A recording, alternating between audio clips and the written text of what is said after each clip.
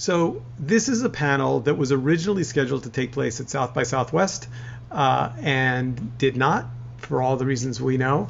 But I really do appreciate that these three fine individuals made the time to get back together in this new virtual environment and talk about Section 230, which we debated whether it was going to seem awfully esoteric given the world we now live in. And I think the answer is no. In some ways, while it's not urgently relevant this second, in fact, you could argue, as I think we will in the next hour or so, that it may be more urgent not that far down the road. So with that, I'd like to just ask each of our guests to introduce themselves, talk a little bit about Section 230 and why it matters to them, and then we'll move on to talk more specifically about Section 230 and communications broadly. So with that, Yael, if you would begin. Um, hi, I'm Yael Eisenstadt. I am a visiting fellow at Cornell Tech in their Digital Life Initiative. Um, I come at this from a background actually in the national security and foreign policy world well before going into the tech world. Uh, spent the first half of my career at the CIA and then as a diplomat and then at the White House uh, as one of the national security advisors um, on the vice president's team. Uh, but the role that I most recently held uh, was at Facebook. I went in to be what was called the head of global elections integrity operations um, for their political advertising side of the house. And so obviously, I've put a lot of thought. I did, I mean, no secret, I was gone within six months. Uh, and I've put a lot of thought over the last year and a half about sort of the underlying systemic issues that I think um, really matter for the future of uh, democracy, political speech, civil discourse, all of these things that social media has has really changed. Um, question for you. Do you want one of us to kind of explain the background of Section 230 or? We'll, we'll get there in a moment after everybody. Okay. We'll, we'll, we'll get so, to the. Yeah. I'll just finish with, and the reason why um, Section 230 is one of the topics that interests me is um, what brought me to Facebook and to the tech industry to begin with was really how is this industry affecting civil discourse? Because to me, the breakdown of civil discourse is part of what is hindering our democratic process and is really affecting um, democracy around the world. And so I started looking really at where does the responsibility lie in some of this. And I don't think Section 230 is an end all be all solution for anything, but it is one of the issues I really like to discuss. Excellent. David? Great. Steve, thanks for bringing us all together. Um, and I hope that, uh, that my connection is working here. So I, I teach law at the University of California at Irvine. And I also have an appointment from the United Nations where uh, I'm called the Special Rapporteur on Freedom of Opinion and Expression. And basically, I monitor free speech issues worldwide. So I tend to look at issues of internet speech from a global perspective, not a particularly American ex- uh, perspective. But of course, most of the companies that dominate uh, the you know public square worldwide, if we want to call it that, are American. And so American law, uh, American attitudes, uh, and company attitudes make a huge difference. And so I think a lot about the companies and their relationship with individuals, with their users, with the public um, in all parts of the world. And particularly, I've been interested, and I wrote a book about kind of the interaction between the companies uh, and governments um, in this space. Uh, it's called Speech Police.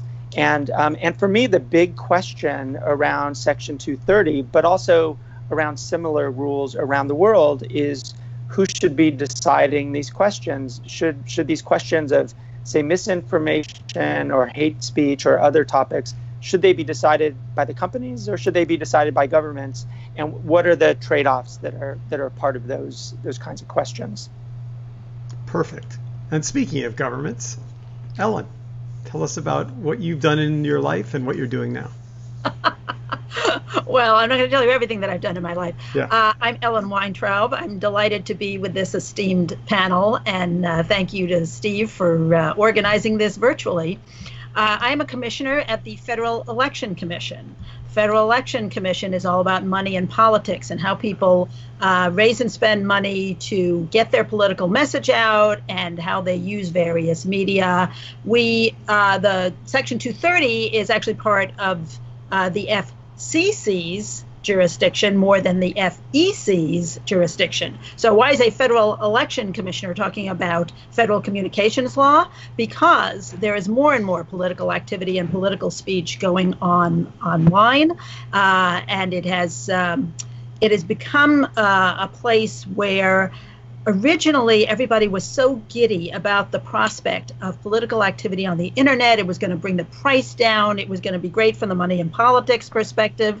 Uh, and uh, it was going to be a great mechanism for organizing and for meeting people and for people to to um, do activism and get together and form communities in ways that they were never able to do before, and people were just uh, ecstatic at the prospect. So when the FEC looked at regulating internet political activity on the internet back in 2006, we took a very light hand. But I think what we have seen in the intervening years is that it is not only, it does all those positive things, but also has been a place for disinformation and misinformation and divisiveness and polarization and a lot of negative trends that are undermining our democracy. And I think we have to look at these issues big picture. I don't think government should be siloed and, you know, this person looks at this uh, slice of the issue and that person looks at that slice of the issue. And I think the accountability of the platforms has to be part of the, of the discussion. So, who wants to take on the the Garanimal sized explanation of 230? I'll just start by saying this. For many years, Section 230 was thought of as the thing that birthed the internet. I mean, it was held in very high esteem as essentially the government's the brilliant decision to essentially stay the hell out and let it evolve. And then at some point, we could pick a, a date on the calendar. Interestingly enough, both Republicans and Democrats, for different reasons, seem to think it's outlived its usefulness. But can can anyone just take a, a, stab at if I messed it up? Like what what is 230 for people that kind of are interested but could use to make sure they're getting it right? Yeah. I don't, maybe I'll just maybe my just very quickly my view of what Section 230 does, and this is sort of without thinking about it in its you know hyper technical legal aspect is that it immunizes the companies uh, from from two perspectives. It immunizes them uh, again uh, for the hosting of content um, of all sorts. So if you know if somebody posts something that is uh, that is hate speech or is even or is defamatory, let's say, the platform is not liable for that the person who posted the content would be. So that's one form of liability that is avoided here. And the other part of it, which makes it really kind of a complete kind of um, uh, kind of immunity, is that um, the companies have immunity from the decisions they take to take down content as well. So, I mean, I do think that there's a lot of um, there's a lot of truth in the idea that Section 230 created the space for the companies to to de- to develop, to innovate, to create their own rules of what's acceptable and what's not on their platforms because they didn't have the shadow of liability hanging over them. But that, I mean, that's a big picture. There's a lot that goes into Section 230. But from my perspective and for our discussion, I think those are, to my mind, sort of the major, uh, the major points. Yeah, I mean, I might just add one quick thing if I can, just as for people who aren't familiar, as familiar as we are with this debate every day, just to remember that it was it was written in 1996, right? So I think that's really important to remember. It was written before any of these social media platforms even existed, and the intent was was good. The intent was so that the internet could grow. Um, so if you know somebody posts something, I mean, if somebody posts something, the, the intermediary is not the one who's responsible. It should be me who's responsible if I post something inflammatory or illegal or whatever. So it makes sense in that respect. But it also envisioned a very different sort of what an intermediary was back in 1996. So I just I want to like put in that um, reminder of it's it's not necessarily should we strike it down or keep it. It's a question of um, is it relevant still today in the way it's written. So, so I think that's exactly the right question, and I think maybe the, the, the person to bring into this is David. David, you know, it often gets kind of structured as free speech versus censorship. In your role at the UN, in terms of monitoring free expression globally, how do you view this debate, particularly as a global conversation as opposed to a U.S. centric conversation?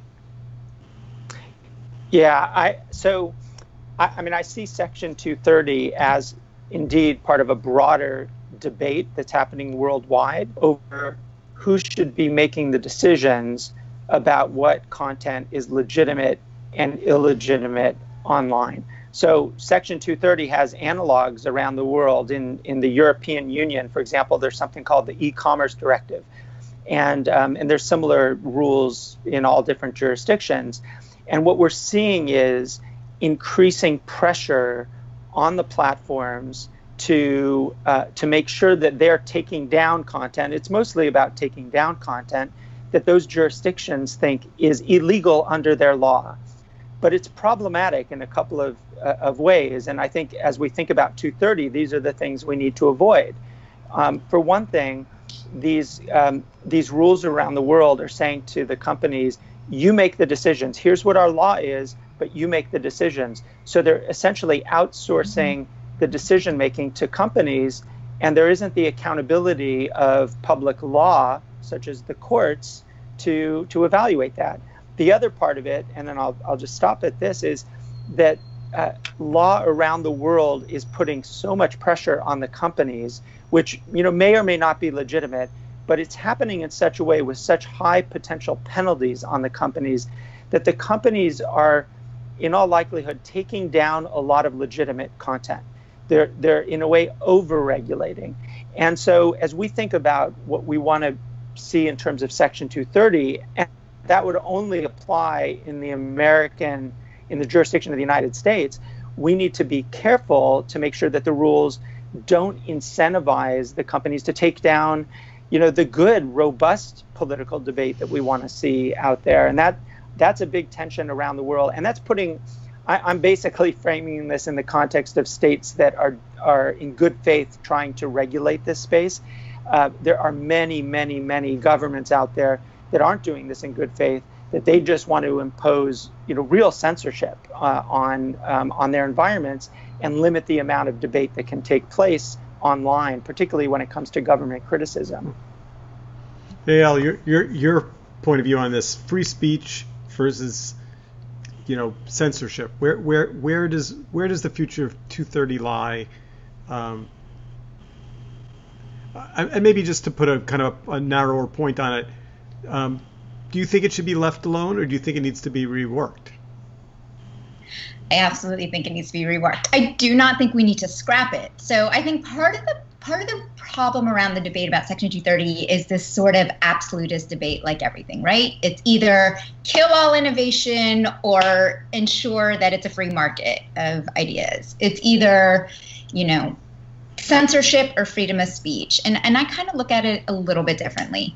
And again, I come at it at it at the, from the lens of I do believe that right now there is just absolutely no accountability or responsibility for i'm obviously i'm thinking about the biggest platforms obviously i'm thinking about facebook youtube twitter I, am not thinking about every single intermediary in the world um, but right now they have no responsibility at all except for a very few specific carve outs that are actually already illegal for the content that they host. And that's that's that's one way of looking at it but i look at it a little bit different. Um, you know if people have heard all these debates about is facebook a publisher or platform that's actually about this debate. Because as long as they are a platform as opposed to media or a publisher or you know a media outlet they get this immunity. And i would just offer it, it it's first of all, I do not want government. By the way, to make it clear, I do not want government being the one to decide what speech should or should not be on the internet. except for in the most extreme illegal cases or you know in the most extreme circumstances i do not want the government to be the ones to decide what should or shouldn't be uh, hosted online what i do want though is I want to think about this in a new way that actually applies in 2020 as opposed to in 1996 when this was written. So, a platform like Facebook, for example, they don't just host content, they're not just a neutral intermediary. Their algorithms are deciding how they are curating content. Twitter's algorithms are deciding what's being boosted, what's being amplified. And I won't give the whole attention economy speech right now, but there's many studies out there that show this business model, this amplification in order to keep us addicted to your screens is why the most salacious content is winning. And so the way I look at it is you're right, they're not a plat- they're not a neutral platform and they're not a publisher. The New York Times, I don't want them to be regulated the exact same way I want Facebook to be regulated. Because the New York Times actually has a fact check, they have a whole journalistic process. Facebook, it's a free for all I would like to say, well, why don't we actually create a new category that's neither publisher nor platform? That's like a digital curator. And then figure out where does the responsibility lie in that? How do you make their algorithmic decision making more transparent so that we can say it's not that you're responsible for the fact that this disinformation is on your platform. You're responsible for the fact that your algorithm decided to amplify it to 2 billion people, whereas before that person would have gotten no carry that's where I would like to rethink this. It's it's that how are you amplifying content? How are you connecting people? Like, is it possible that your algorithm has actually connected this kind of content to vulnerable youth who are actually vulnerable to being exploited by a global terrorist network or whatever it is? And so it's it, I look at it very differently than just the black and white. Are they a publisher or a platform? Which is why the uh, the whole word we debated the word debate versus revisiting and the idea right. of debate you think so so Ellen at the FEC you're charged with protecting the integrity of the campaign finance process how do you debate how do you view the debate around accountability in a digital world as opposed as it applies to the mandate as to your mandate and, and let me start off by saying thank you for the question. And uh, let me start by saying that I agree with everything that was uh, just said by both Yael and David, particularly the part about how we don't want government being the ones to decide what people get to say. I think that we have seen, particularly recently, some really disturbing trends around the world in certain authoritarian governments really taking advantage of the current health emergency in order to uh, adopt even stronger controls on what people are uh, allowed to say and not allowed to say in the guise of protecting people from health misinformation. But uh, in fact, probably uh, designed to avoid criticism of the government. And uh, I don't I don't advocate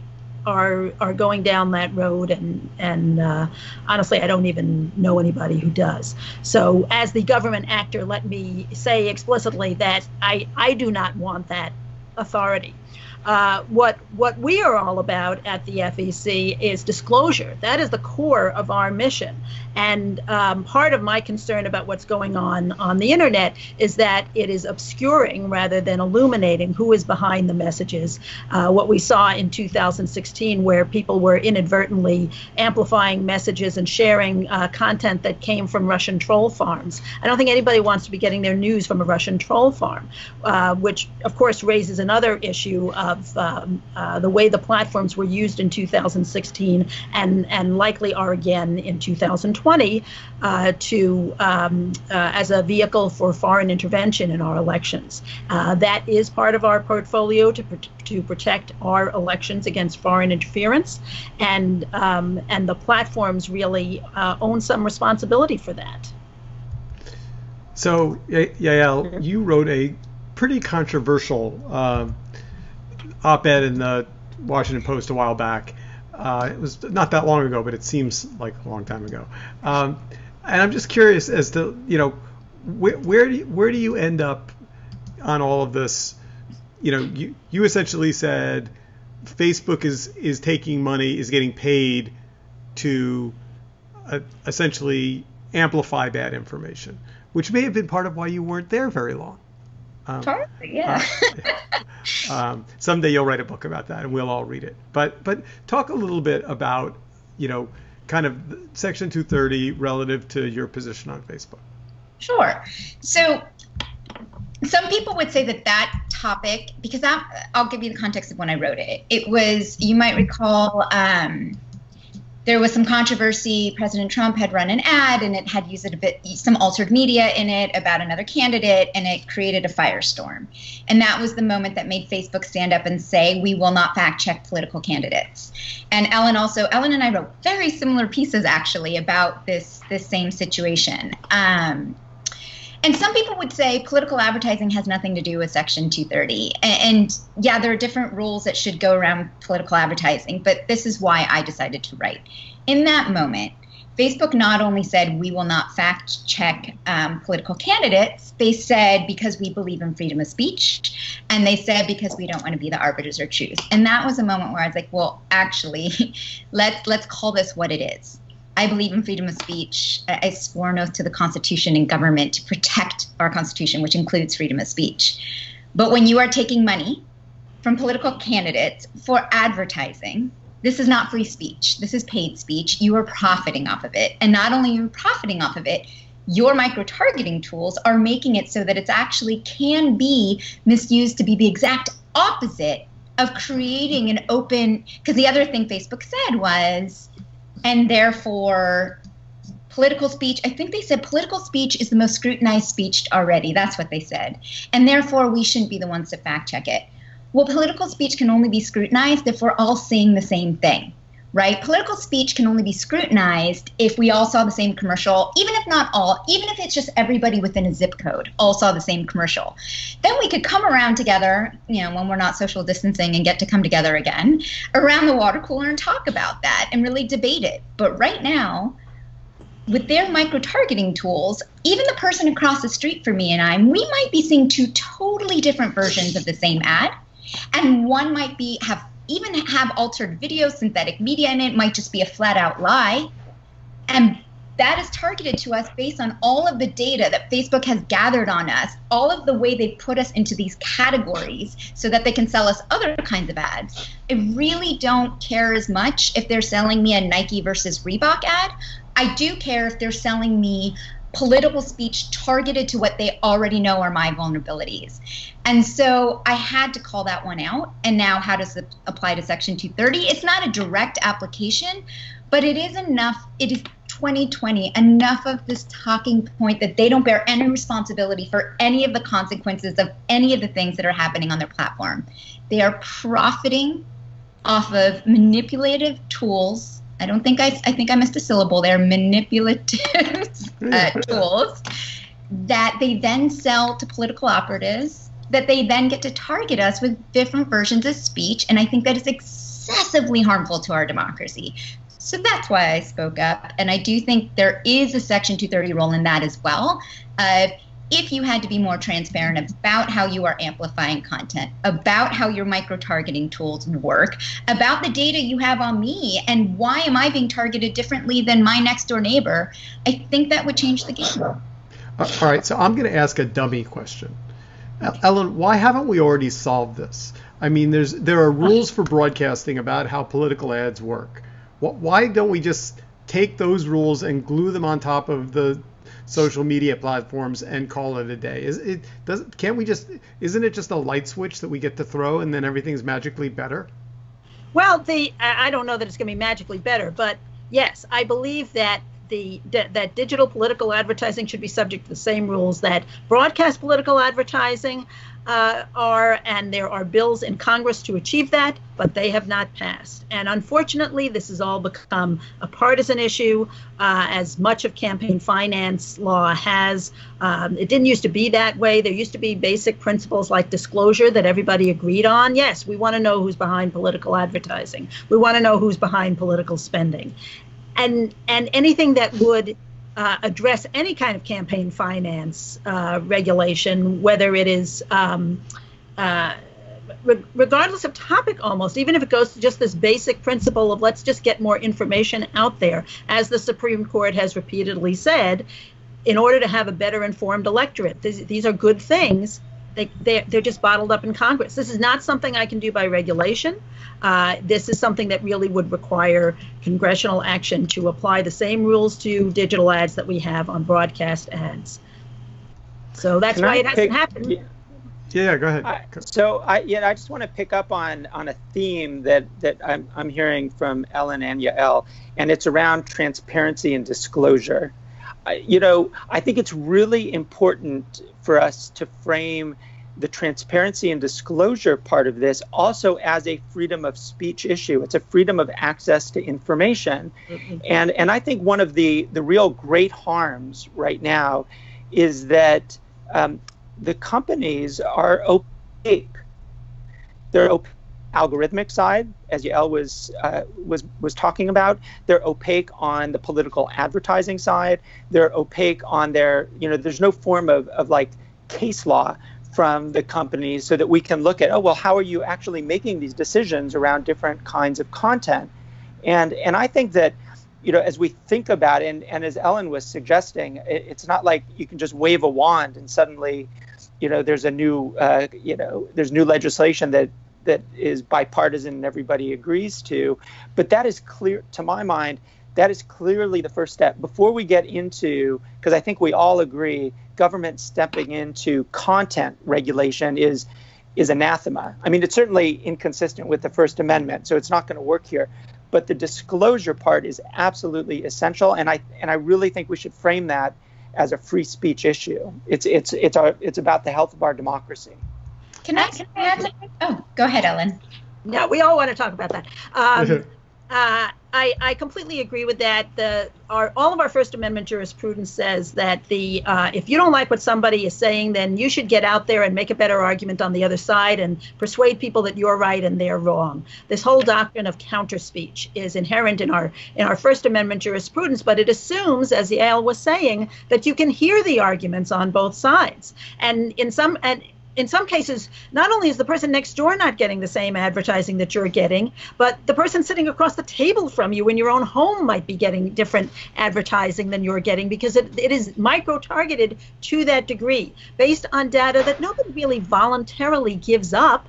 This is just sort of drawn from every click, every share, every like, every every dislike that we do online. The the platforms are just sucking up all of this information about us. And it is and and I don't think any anybody is sitting there saying, "Oh yeah, I want I want the uh, platforms to have all of this information about me so that they can give me a a personalized." Oh no, we. Stickers or soap, but again, when you're talking about candidates, when you're talking about policies, it really removes accountability not only from the platforms themselves, but also from the candidates. They don't have to come up with a broad message that appeals to a lot of people. They they they can come up with these micro-targeted messages to appeal exactly to each individual and then everybody thinks they're going to get a personally custom designed candidate and that no compromises are necessary and the candidates aren't accountable for the messages that they're selling because only the people who like that message are actually hearing that message. Can I, can I pick I, up on wait wait wait. I, so I, I got to go back to David for a second because he said something that has been chewing at the back of my head for about the last three minutes. So if if we tell the platforms they can't be opaque and they have to be transparent and they mm-hmm. say, okay, fine, we're going to tell you everybody who buys every ad and what they pay for. Don't you just run headlong into Citizens United? Because it just becomes a random well, name of unknown. Uh, I'm not sure you do. Well, okay, I mean, Ellen okay, your, your, partners are saying no. So Citizen good. United question. Uh, well, yeah, I mean, the, no, I, Citizens I don't, United. I don't, go ahead, Dom. Go ahead. Yeah. Sorry. Said, you know, now you No, really are. You, anyway. you, Uh, Citizens United was actually very strong on disclosure. What nobody remembers about the Citizens United case is that it started out as a disclosure case. And actually, the disclosure argument won. That was the one thing that did win in the Supreme Court. Uh, it, and then they, they went beyond the, the original disclosure argument to do a lot of other things that. Um, well, we won't get into that. But um, Citizens United was very strong, and the court has always been very strong on the right of the of the electorate to be informed, to have this information, so that they can uh, go in and vote based on all of the information. So I think, far from Citizens United undermining this argument, I think it is foursquare behind it. Can I? Yeah. So I wanted to just bring up something from my time at Facebook and broaden it a bit so that people don't think the only thing that we think applies here is for political advertising. Because, so if I can give two quick examples. The funny thing is, you know, you hear companies like Facebook actually say we want to be regulated for the political advertising space. They don't say we want to be regulated for everything. But it actually would make their lives a little bit easier if we would actually regulate political advertising on their platforms. Because I'll give you one tiny example. I mean, anything that we were building, I joined them. They hired me actually the same day that Mark Zuckerberg testified on the Hill. So it, I came in right into the firestorm and they were just building out their products, their new trans, so-called trans. I put it in quotes, not the most transparent tools in the world, but they're so-called transparency tools around political advertising.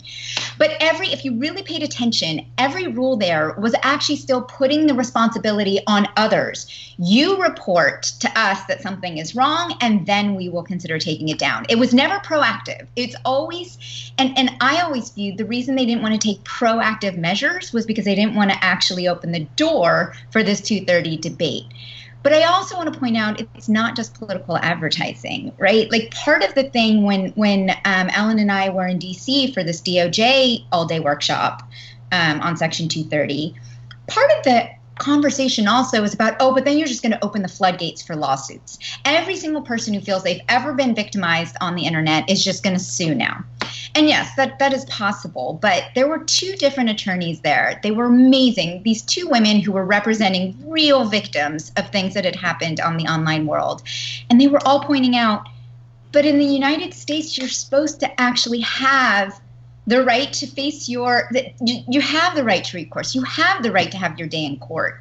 And right now everything's being thrown out on the immediate well section 230 immunity. I mean if you follow this i think it's the Grindr case just go look it up later. It's a fascinating example. But i wanted to bring up let's let's bring up myanmar. I'm sure david has thoughts on this one as well. In myanmar is facebook responsible for mass killings in Myanmar. I'm not saying that's Facebook's responsibility. However, I would say when Facebook's algorithms were amplifying hate speech in Myanmar, when Facebook was not listening to experts on the ground who were telling them and warning them this was happening. It's not just that somebody wrote something on Facebook and their five followers saw it. Their algorithms were picking up this hate speech and amplifying it are, you sure that we shouldn't be looking at that at all? Of well, is there any responsibility there for the way your platform helped amplify absolute hate speech that led to a genocide? This is where I cannot accept this idea that free for all. There's no responsibility in anything. I know. I just want to make sure people realize it's not just about political advertising. It's about all of these issues. All right. So so here's the thing that that this is why this conversation always makes my head explode because we think that the platforms probably can't regulate themselves, but at the same time we don't really want the government to regulate them because arguably we think the government in some countries theoretically our own but certainly others without a doubt will use that power for the opposite of good that the web will become less free the internet will be so it's like we want this magical entity that isn't the government but isn't facebook or youtube or twitter or you know to come in and set some boundaries and i don't know what that entity is. Yeah i how about the un maybe i could just say well let me let me say uh, just a couple of a couple of words. So one is I, I do think so part of this conversation that I think is really interesting is that I think you can imagine having um, new rules around political advertising, um, you know, that kind of paid speech that is, I think, as Yael was hinting at, is is practically, I wouldn't say divorced from Section 230, um, but is is to the side. It's sort of running parallel to the Section 230 conversation. A separate Section 230, or we could say platform liability uh, conversation is around things like harassment, you know, forms of, you know, doxing, um, and and hate speech and disinformation that you know may or may not be related to to political advertising or to politics at all uh, to some extent. And I think if we think of if we separate those two things out, I think it's a, a little bit more of a profitable discussion. And I think one thing that we see is there is a risk in talking about these other areas apart from the political advertising. At least I see this globally. There's a real big push for governments to be involved in regulating that content. And, and in fact, when you think about uh, some of the proposals that have been made uh, in Congress, they have been, and these have been particularly from the right, but not only from the right, um, have been pushing toward allowing there to be liability on um, for the companies for some of the decisions they make around political speech, which I think is actually quite dangerous. So, I mean, I so for me, that transparency and disclosure conversation that we were having about political advertising is actually quite relevant here as well. So I think there should be really transparency obligations around the whole range of rulemaking that the companies are engaging in and their enforcement. And I would go further and say that there's some really interesting discussion around the world on the possibility of having non governmental oversight uh, of company decisions. Um, you know, some of this has been absorbed by this new Facebook oversight board, which Zuckerberg once called, you know, the Facebook Supreme Court. But I think that's going to be limited. And what we should be thinking about is more industry wide oversight that could be non governmental. That sounds weird for Americans because we're not used to it. Outside the United States, there are things like um, journalistic press councils um, that actually do a pretty good job in a number of places that we could be thinking about as models. But that at least takes us away from having the government deciding this is content that is tolerable and this is intolerable. So, so let's get to current events. Two, two important things to talk about before we get specifically to COVID and how that impacts us. So, Joe Biden, who now that Bernie has no longer has, has paused his campaign, as they say, uh, Joe Biden is now the presumptive nominee, and, and he's been quite clear. Um, and, and, yeah, I'll, I'll, I'll, let I'll let you excuse yourself from this part of the conversation because of your history. But but for our other panelists, I mean, Joe Biden has been quite clear about the fact that two, you know, I think he said in his typical Biden-esque way, you know, 230 has to go. Like not a lot of gray area. And now now the immediate reaction that my my legal friends responded to when they heard that was did he did like was that a policy statement or was that him riffing? And but he hasn't made any clarity around it. And this is now um, you know a couple of months ago he said you know to so you've got the democratic presidential candidate saying that 230 either has to be reworked or in his words removed and there is certainly consistent activity on the Republican side to do some version of the same.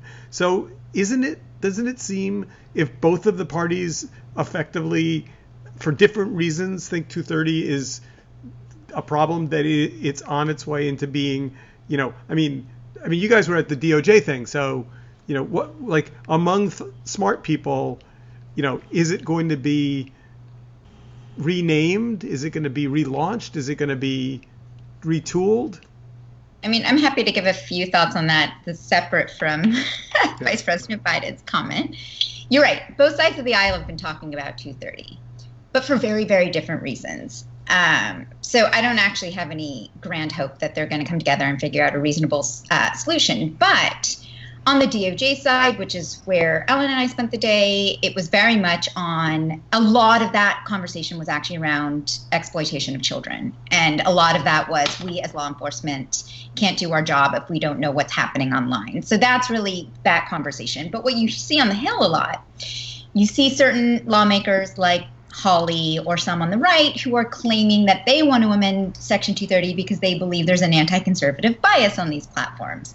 Whereas on the left, you have, you know, I didn't consult with him before he said this, but the, I assume the reason Vice President Biden said that was because he was actually the victim of this fake ad that Trump had run. And so, like, I assume that's why that one came up.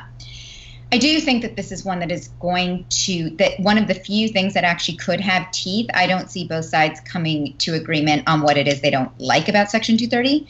But if I can also just bring up the magic wand idea, I want to make it really clear. Lots of arguments that are happening in the tech policy world are people saying, well, antitrust won't fix everything, or data privacy laws won't fix all the problems I care about, or Section 230. And, and I want to be emphatic There is not one magic wand. They are all part of a bigger puzzle of how do we deal with this new reality. And not a single one of them fixes some of the real harms that are occurring online. Section 230 is just one of those pieces of the puzzle. Um, you know, I want Facebook to succeed. I use it. I want to remain connected to the world. But Section 230 is the rules about who bears responsibility for the real world consequences of the way your company is made, what they're putting out in the world. And this is the only industry whose responsibility has never been defined. And I think that's what a lot of people are starting to really try to wrap their hands around. All right, so let's, let's get to where we are today, because today obviously uh, is is you know a lot has changed in 90 days, in less than that, in four weeks. So the the, COVID uh, 19 pandemic has changed the entire landscape from the way we work to a significant increase in our reliance on online tools, and and at least for the moment, it does seem like both Twitter and Facebook have been working pretty hard to try and get fake information off their platforms, take it down quickly, not sell garbage product. You know, like mm-hmm. if you had to score them today on how they're doing, you know, does anyone want to kind of chime in on how the platforms are doing relative to what is a pretty intense and fast moving challenge for them? I'm, I think they're do. I'm not going to give them a grade you know, we've all moved to mandatory pass fail, right? So, so, you know, they're they're passing, and and I actually think that on uh, on the pandemic, they're they're aggressive in in probably an appropriate way. Um, but it's very early and it's it's also because of the opacity i mean there's two things that are happening that i think over the medium term could be problematic one because they're opaque um, and they're going to be more opaque because there's fewer people who are actually able to be in the office to do this kind of work. And you really can't, you know, minimize the importance of, of teams working together in the same room to solve some of these problems. Also, their content moderators, uh, you know, the tens of thousands of them around the world. And this for all the platforms, they're all home because of a variety of different concerns. There's a lot more automation. So the what what I'm concerned about over the medium term is that a lot of information about the spread of the pandemic that might be important for communities to know, um, it might be getting scrubbed, and we don't know that. So the aggressiveness, while important when it's tied to you know WHO or CDC information and ensuring that you know what people really see is verified information around the pandemic and the disease, you know, I think we'll start to hear, uh, I imagine pretty soon, about cases of, you know, taking down information that you know may have been helpful to people. Eh, but we just don't see that yet. It's again it's a transparency and disclosure problem. And then the longer term question is you know do they apply this aggressiveness to um, to political speech? I mean i hope they don't um, because that you know political speech is very very different. Even hate speech, it's very very different from you know um, you know the kind of material that needs to be seen that's coming from the CDC, for example. Um, but you know people might get used to this kind of aggressiveness, and it might be it might be problematic over the long term. So that's interesting. I'm not going to give them a grade. Um, I completely agree with David. I just want to add a little color from just my experience there. Um, I mean, I think people don't realize that the, the the idea of the content moderators having to go home understand that most of the content moderators are contractors so they can't work from home there's they're too they have to actually be in buildings that they were in to do that work so now they're relying more and more on machine learning and ai and they're going to overcorrect so what I would say on this, though, I will give them credit for the fact that they realize that this is a real global health threat and they have to be aggressive because lives are on the line. So I'll give them credit for that. Um, and I want them to do that. I want Google to help surface the CDC and WHO information as opposed to every Joe Blow who knows how to game an algorithm, for sure. Um, however, there's always a however. I I, found it really interesting on Twitter, and, and maybe I'm overinterpreting this, so please chime in if either of you think that I'm overthinking this one. But on Twitter, I was following this one, I don't even remember his name. This one guy was spreading all sorts of, like tweeting all sorts of things that were pretty, oh, Sheriff Clarke, I think it was, if anyone remembers the Sheriff Clarke example. And they finally did take him down. But they didn't take him down for spreading disinformation. It wasn't a policy about disinformation. The Twitter policy is about tweets that could cause harm or like self harm because he was telling everyone you should go out to crowds. And so Twitter was able to sort of twist this well, that would create self harm because then you could contract the disease. We'll take it down. Why am I over explaining this? Because to me, that doesn't show that, that that's very categorized to protect themselves in the future when people start saying, well, clearly you know how to combat disinformation. Why aren't you doing it in other spaces? So I think it's interesting what policies they're leaning on right now. I agree with David. I don't want to see them take these exact same aggressive policies into political speech. However, I do believe that democracy is also in crisis, and I do believe that our public square is in crisis. And one of the first things I tried to do at Facebook when I first came on was saying, well, is there anything we can do about rampant disinformation and political advertising? And they would not touch it. So, no, I don't want them to use these same aggressive tactics. But when we get out of this, and we will get out of it someday, the three questions I'm left with, and then I'll stop talking. I realize this is a long answer, sorry, is one, what can we learn from what all of these platforms did during COVID 19 as opposed to it going into a black box that we can't learn about?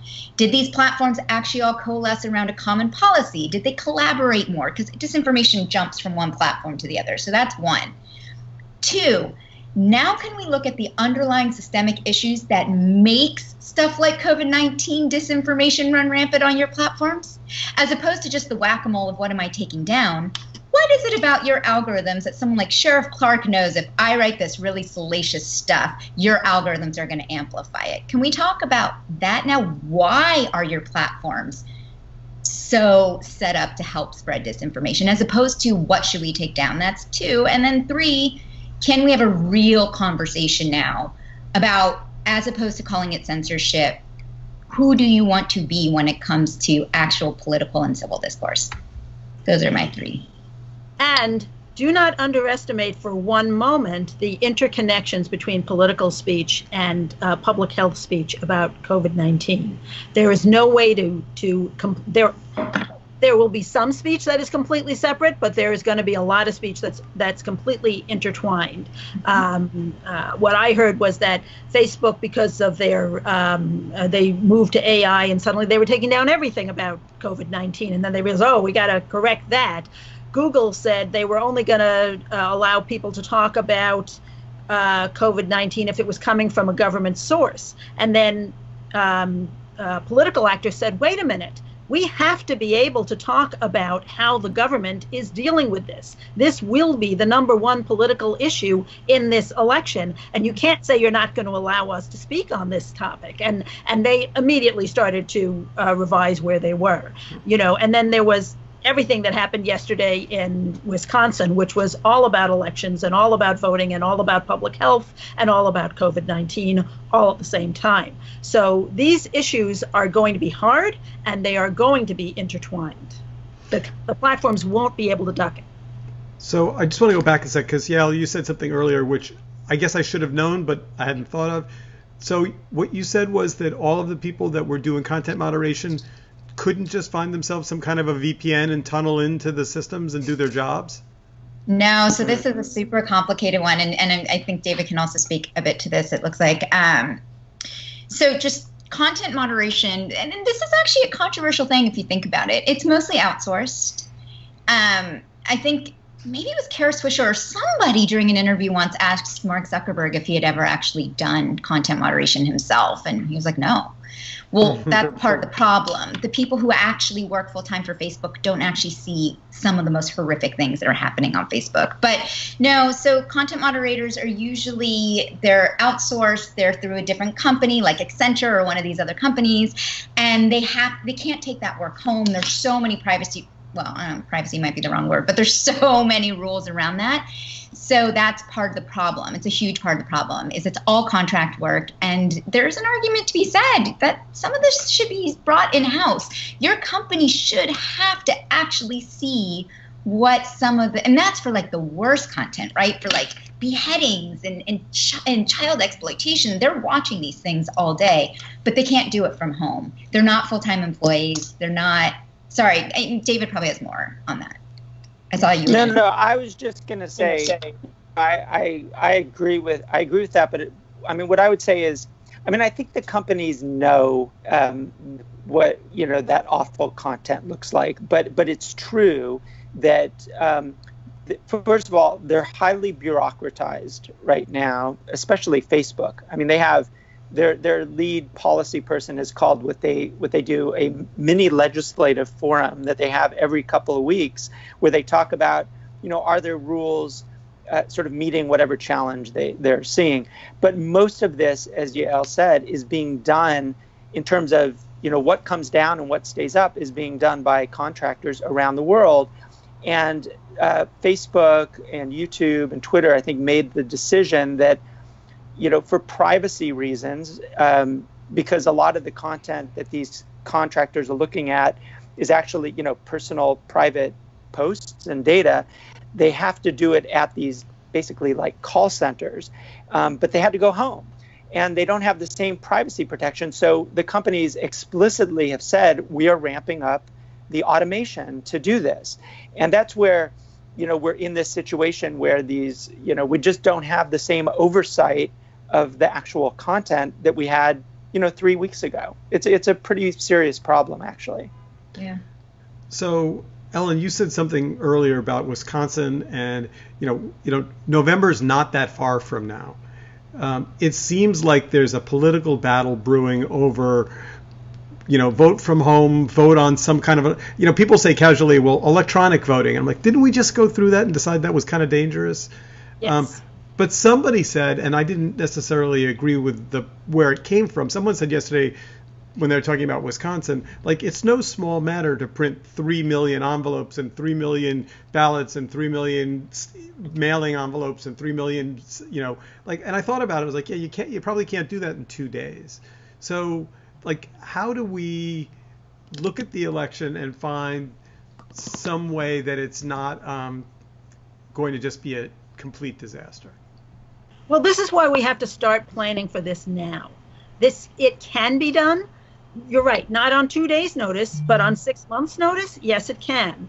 But the states are going to need more money in order to do this. There's um, uh, there's a report from the Brennan Center with a bunch of recommendations, and uh, and they've said they've estimated it's going to cost two billion dollars uh, for all of the states to buy the equipment that they need and and put out the information that they need. You need to inform the voters how this is going to work. Um, there are jurisdictions that have a lot of experience in vote by mail and they could provide some expertise to their colleagues. This has been going on in, in places like Washington and Colorado and Utah, places that elect Democrats, places that elect Republicans. They've been using vote by mail. They haven't seen uh, uh, any uptick in fraud. This this isn't really uh, uh, a huge problem that's been identified in the states that have the most experience with it.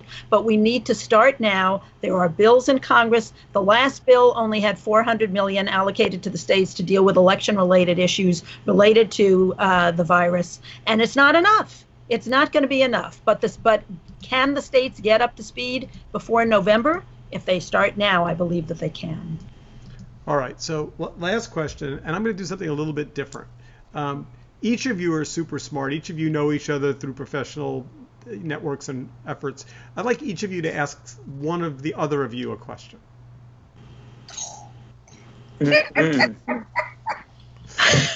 That's great. I love that, Steve. Maybe maybe I'll start. Can I can I start? Because uh, this is a question that I have. I mean, it's a question. It's a question that I have. I mean, for myself too. But um, and this is sort of overstating the point. But so I'd ask, I mean, it could be for any of you, um, what what um, what happens if we don't have Section 230? I mean, what if we don't have that protection? Like, what does that world look like? Does it look like? Is it a world of? Um, and we talked a little bit before about is it a world of more litigation? That is it a better world in terms of the kind of content that is both taken down and left up? Are the decisions made better by the companies if we don't have 230? That's a that's a question that I've had, um, and I don't. I'm not sure I know the answer to it. I don't know that I have an answer, but I have a few quick thoughts because that's that's. As someone who doesn't actually advocate scrapping 230, I haven't thought what would it look like if we actually scrapped it. I will say if we actually scrapped it, I think the opposite of what I want would happen because I think then Facebook, Google, and Google win because they're the only ones who are big enough right now to be able to actually handle some of the things that will shut down all the smaller companies if we were to just scrap it, which is actually the whole opposite of the point of what I would like to see accomplished. I, I think, um, yes, we'd have a totally litigious society and all of that would happen, but I actually think it would consolidate even more power into the hands. This is just a very quick thought. I've never thought about this before, but I think it would consolidate even more power into companies like Facebook and Google who would be able to figure out how to handle some of those challenges in a way that smaller companies wouldn't, which is part of why one of the things I advocate for is like the rule should apply to differently to different size companies to uh, uh, all sorts of things. But that would be my biggest fear is it would actually consolidate all the power into fewer companies. We've just got two minutes left so i want to make sure we get a chance. Ellen do you have a question for either david or Yael well Yael had a question so i don't want to i don't want to jump in. ellen no, I was going to ask David about the uh, the interrelationship between international standards for you know because uh, sometimes I hear well it doesn't matter what we do in the United States because if they adopt better rules in Europe then Facebook is going to have to just and, and all the platforms will have to comply with those pretty much around the world because they can't have different standards in different places. I had a similar yeah. question, so great. yeah, well, I, you I mean, and I, I think, we're just like, like yeah. I think that's right. I mean, I actually think, but you know, the interesting thing to me is that uh, these rules are being made by Europeans. I mean, if anybody's getting moving a little more quickly, it's Europeans, and I think that's true because these are platforms that work at scale.